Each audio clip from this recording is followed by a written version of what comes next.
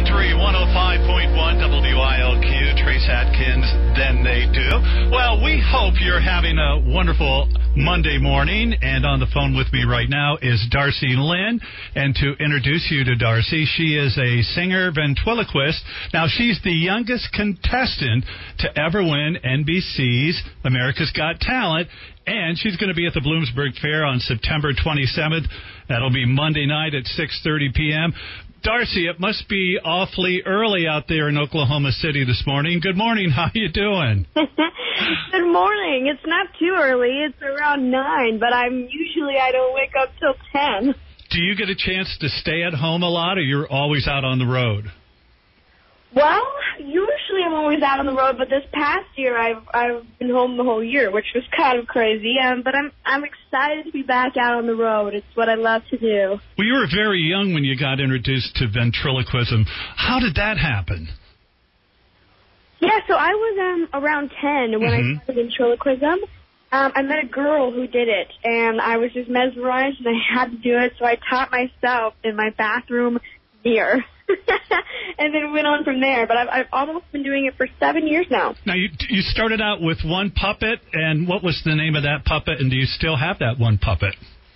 Yeah, so um, I started with a puppet from eBay, um, and she wasn't like a real ventriloquist puppet. She was uh, kind of hard to maneuver and everything, but she was a good starting one. I still do have her. I don't use her anymore, but I do have her. Her name's her name's Katie, Mm-hmm. and I actually um, got a whole new puppet that's an actual ventriloquist puppet to replace her. So they look different, but they're the same character. So you both they're they're both Katie, like Katie one and Katie two. Yes, I just I just don't use the first one anymore. Okay, now how about Katie one? Does she get jealous of Katie two or not? I mean, I don't know. I haven't talked in a while. but I'm I'm sure if I asked her, yeah, you, is it too early to wake her up? I don't know. I mean, I, I really she is. Oh, I think she's in a suitcase in the closet here in the house somewhere. Oh, okay. I really I haven't seen her in a while. She is a yeah. She, I haven't used her in like five years. Crazy. Yeah, well, listen, you've been blessed uh, fr- from the start. First of all, I think everything begins with family, and you've had tremendous family support and encouragement along the way. Uh, tell us about your mom and dad and siblings. How many brothers and sisters do you have? So I actually have three brothers. Oh, I'm sorry to hear that. All right. I I mean I used to wish for a sister every year on my birthday, but now I'm just like I love my brothers. I wouldn't ever trade them for the world. But uh yeah, so I love my brothers. They've been super supportive of me, nothing but supportive. And uh my parents um are just the best ever. I couldn't have asked for um better parents cuz they've really um gone out of their way to support me and everything I've wanted to do and they've really also helped keep me grounded and stay true to who I am throughout all this craziness. Um, so I, I really appreciate that of them, and they're just they're the best. Well, that's very important to make sure that you stay grounded. And you've had opportunities. You, you have played at some tremendous uh, venues like the Grand Ole Opry. What was that like? Oh my gosh, it was it was it was such an experience. It was crazy. I mean, I just there's so many things that I can say I've done that I just I'm like, did I really do that? and that's one and that's one of them. It's just it was the coolest thing ever. Well, then you opened up for Fergie at Caesar's Palace. Talk about a different venue and a different change of uh, of venue. How did that work out for you?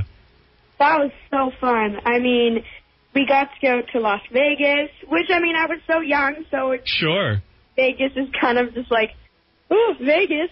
But um, it was still fun. Um, we got to, I think I rode the roller coaster on New York, New York, and all those fun things. And but um, but uh, opening for Fergie was so crazy. She is, she's very down to earth and very nice, and she's very talented as well. So that was really cool.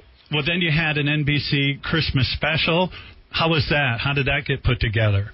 Oh my gosh, yeah. I just it's crazy to hear you list all these things I've done. I'm like, what? but uh yeah, so the Christmas special I did back in 2018 and or 2019. I'm I think I'm blanking on which year, but uh, it was um that was so cool because we had so many amazing celebrities on it. Um, guests we had Toby Keith, the Pentatonix, um, gosh, Kristin Chenoweth, um, just Hunter Hayes, so many cool, cool people, and Lindsey Stirling. It was just so fun, and to be able to host my own show was also a very cool experience, and I learned a lot as well. So it was just, it was so much fun. You know, you've done so much in your very young life. Do you have, when you look at yourself as far as like 10 years from now, I mean, what do you do for an encore? A lot of people would probably spend their whole life trying to achieve what you've done at such an early age. Do your parents kind of talk to you about that and set goals and objectives for what you want to do later on in your life? Um, yeah, I mean, we talked to, we talked about it. You know, they're like, what do you want to do? Where do you see yourself in five years? And I'm like, I just, it's hard to answer that question because I have so many goals, so many goals. And, um, I just, I, I find myself wanting to do it all, really. well, you will. You just have to take it one day at a time, right? Of course. That's Yeah. what I've been telling myself. It's just, um, right now I really don't have, like, a, this is what I'm going to be doing, and then this is what I want to do now, and then that's what I want to do later. And I don't know. I'm kind of just letting God's timing work everything out and just to go with the flow and wherever uh, He takes me, then that's where I'll go. That's wonderful, and that's that. I'm glad that you uh, have a frog there. You're fully relying on God. That's that's really important.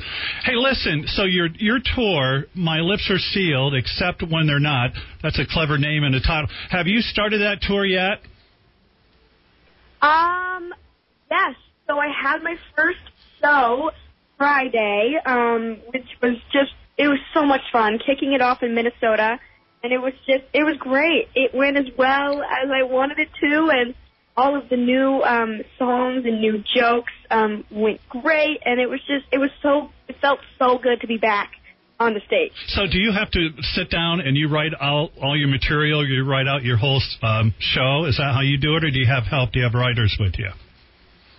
Um, uh, it's yeah, it's been a big collaboration. I mean, Mhm. I'll have great ideas, and then my parents love great ideas, and I actually have um a couple other people that have good ideas that we write with, and so yeah, it's been it's been really fun writing all the material. Well, you're going to be coming to the Bloomsburg Fair. It'll be September 27th, Monday at 6:30 p.m. And at the fair is just huge. People from all over central Pennsylvania uh, they attend this thing. 100,000 people probably. Uh, they're they're just going to enjoy your show. Tell us right now, with all our listeners that are listening and wanting to purchase tickets to see your show, what would they expect when they show up to see My Lips Are Sealed? Well, is a very family-friendly show, so you can bring your whole family. Um, there's going to be live music, so a live band playing all my songs. Um, some great comedy. I mean, I think I'm a little funny. I might be a little biased. all five of my friends will be there, and it's just a great show to come on down and great night out on the town with your family, and um, yeah, it's gonna be fun. Yeah, ventriloquism. You look back at some of the the big players that are still involved, including you. But there's Jeff uh, Dunham, of course. He's popular now. Did you ever get involved with and, and watching any of the Edgar Bergen stuff with Charlie McCarthy and that? I have seen a little bit um, of Edgar Bergen, of course. Mhm. Um, but I think I definitely watched Jeff Dunham and Terry Fator more um, than I did some of the older greats in ventriloquism because I think they were just more my time. But um, for sure, Edgar Bergen and Jimmy Nelson and yeah. Well, that's wonderful. Hey, I want to thank you for your time. I appreciate you calling in this morning, and we look forward to seeing you on September 27th. And we hope that you have a, a great tour and uh, stay safe and stay healthy out there. And we look forward to maybe chatting with you uh, sometime around the 27th. Thank you so much for talking to me this morning. All right. Thank you, Darci Lynne.